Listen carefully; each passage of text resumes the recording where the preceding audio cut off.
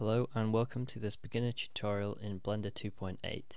If you don't already have Blender 2.8, all you need to do to download it is go to www.blender.org forward slash 2-8, click download Blender 2.8 beta, and then download the version which corresponds with your version of Windows. Once the zip file finishes downloading, extract it and run the blender.exe file that's inside. When you run that file for the first time, you'll be greeted with this 3D scene. It will be set up with a camera, a default cube, and a light. You can rotate around the scene by holding middle mouse button and moving your mouse. You can pan by holding shift middle mouse button and then moving your mouse. And you can zoom by scrolling the scroll wheel. You can also go to set side views using the numpad. So 1 goes to front view, 3 goes to side view, control 1 to the back, control 3 to the other side, and 7 to the top. You can change the view type by pressing Z and then choosing Rendered, Wireframe or Look Dev. Look Dev allows you to develop materials without having to use all of the intensive processes that the render setting uses. Wireframe allows you to see through your model, and Rendered uses the full rendering engine to produce the output which you will see when you finally render out your image. To make your first render, we're going to press X to delete and then OK to delete the default cube. Then we're going to press Shift A to add a new primitive, choose Mesh, and then Plane. This is a flat plane which will form our ground. I'm then going to press S to scale and then type the number 5 which will set it to scales factor of 5. Left click to select. Now when I press 0 on the numpad, I will go to my camera view I can press N to bring up this side panel on which I can click lock camera to view which is under the view tab. Now whatever I do panning or orbiting with my mouse my camera will follow. I'm going to move it so that it looks at the origin about like this and now uncheck lock camera to view. Now when you look around it will snap away from your camera and your camera will remain still. I'm now going to insert the primitive which we're going to use for our first render and that's going to be the monkey head. To do that, I'm going to click Shift A again to add a new primitive, Mesh, and then Monkey. I'm going to press S to scale it down, 0 to go into camera view, G to grab, and then Z to lock that motion to the Z axis. I'm going to lift it just up a little bit. When you're rotating, you have two different modes. R once just rotates it around the axis, which is straight out from your view.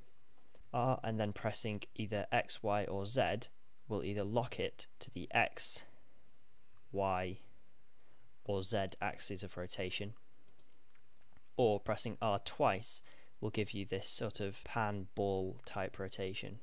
I'm going to press R and then Z to lock the rotation to the Z axis and then point it so it's facing the camera. I'm then going to scale it up a little bit by pressing S and then moving my mouse, G to grab, Z to lock that movement to the Z axis and then lift it up a little bit more. Now you'll see that this model is very low poly, which means that it's not got very many vertices, which means it looks really jagged like this. To increase the number of vertices on a model, you can add a subdivision modifier. You can go to the modifiers tab on the right over here, click add modifier, and then subdivision surface.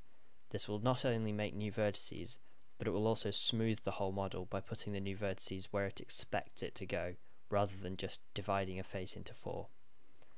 You can turn up the number, and then you can see it's still made up of single flat faces, but to make Blender act as if these faces are smooth faces, we can go up here to Object, and then Shade Smooth. If we press 0 to go back to our camera view, and then Z and choose Rendered View, you can see that this model is already being lit by our light. I want to change the look of the model, however, in changing its material. To do this, I'm going to go over here to the Material tab, create a new material. I can name this whatever I want, so I'm going to name it Monkey Material. And then here, base color is whatever color you want the material to be. So I'm going to choose orange. I'm going to reduce the roughness, which will make it slightly more shiny and if you want a more in-depth explanation of all of these settings, there will be in a video to come in this series. I'm now going to come over to the World tab on the right. You see the background is currently all grey, which doesn't look very appealing. That's because we have a colour of grey set for its lighting style, and a strength of 1. You can increase the strength, which is increasing the strength of lighting coming from everywhere in the scene. This kind of lighting isn't very accurate because in real life you don't have light coming from everywhere, you only have it coming from single points. So we're going to turn this off by setting the strength to 0. Now we've got a much more accurate looking scene. You'll see that there's no reflection of the monkey on the surface of the floor. The reason for that is in the Render tab we have Screen Space Reflections turned off. Having this turned on is a requirement to have any reflections in Blender 2.8 using the Eevee render engine. Turning this on, you'll see we get a lot of reflection under here where light is bouncing off the floor and up into the monkey. To make it more accurate, we can turn off half-res trace, which will allow double the resolution for tracing the rays which are bouncing off and hitting the monkey.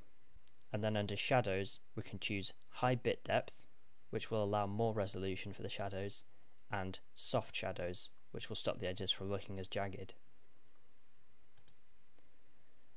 What we now need to do is bake indirect lighting. If you're using the Cycles render engine, you won't need to do this, but it is a requirement if you want lighting to look realistic in the Eevee render engine. To bake lighting, we need to do Shift A and then a light probe and an irradiance volume.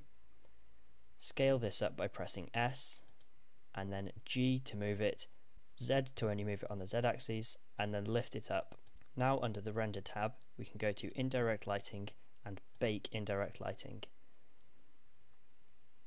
Now you'll see there's a lot more light around the scene because it's also calculated extra bounces which it doesn't do normally. You can't click bake indirect lighting unless you have an irradiance volume object. So now we want to export this as an image from our scene. The way to do this is to go first into output and select the resolution of our image. I'm going to leave this at 1920 by 1080 pixels because that's a normal 16 by 9 aspect ratio image. The frame rate doesn't make a difference at the moment because we're only doing a single image and not an animation. Under output you can choose where you want the image to be saved once it's finished rendering. This is only for animations because if you're only rendering a single image you still need to save the image manually. Now to render the image you just need to go to render in the top left and then render image. It will work for a couple of seconds and then you'll have an image here. Now if you want to save it, you just need to go to Image, Save As, choose wherever you want and name it whatever you want and then click Save As Image. You can now open this image and you'll see the image that you've created in 3D. Thank you for watching this tutorial. If it's helped you or you think it will help anyone you know, please consider sharing it and please consider subscribing if you'd like to see more in depth any of the features which I showed in this video or more advanced features for modelling and rendering. Thanks for watching.